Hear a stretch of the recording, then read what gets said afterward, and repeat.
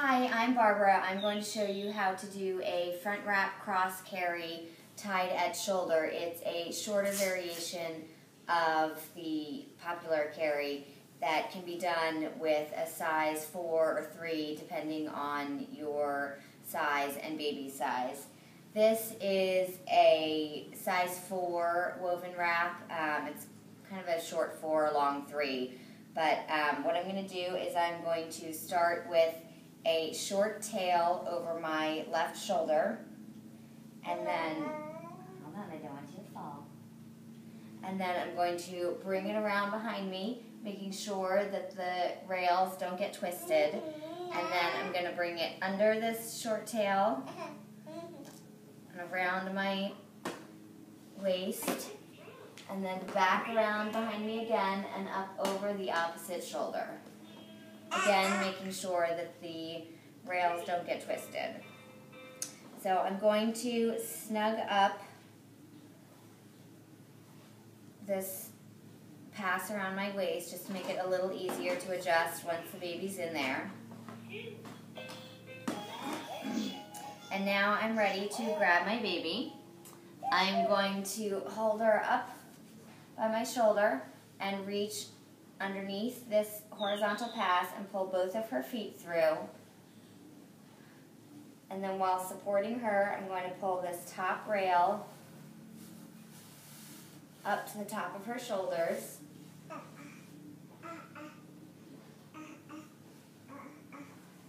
And I'm going to hold the fabric against her while I reach between us and pull that bottom rail up to give her a nice deep seat. So now she's got the fabric going from knee to knee, and her knees are slightly higher than her bum, which is a good position for her. So then I'm going to work on tightening up this pass over her because it's pretty loose. So I'm going to start with the top rail, and I'm going to pull out and over. And I'm going to add a little bit of the wrap each time I go, pulling strand by strand to tighten up all the way across the width of the wrap. So I'm going to hold this tighten one in my hand while I switch and do the other side. I'm going to do the same thing, pulling strand by strand to tighten everything up so she's nice and secure. So now I've got her nice and tight, and I just do a final pull there to snug everything up. I'm going to take this long tail and I'm going to bring it under her bum and I kind of lift her a little bit and tuck it under to reinforce that seat. I'm going to bring it around to my shoulder over here where I'm going to tie a slip knot. So the longer tail is going to be tied around the short tail over your left shoulder or whichever shoulder you choose. So I'm going to make a T and then bring it up through the top.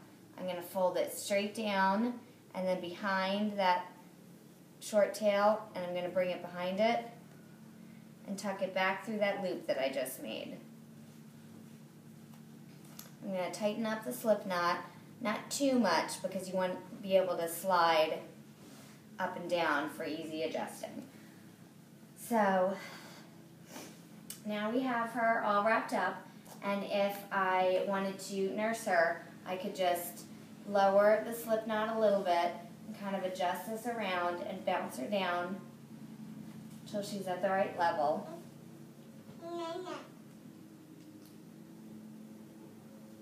Then I can latch her on to nurse. And if I needed it, there's a little bit of extra tail here for some cover and some privacy. So there we have a front wrap cross carry tied at shoulder, so it's a short variation of the popular front carry. Thanks.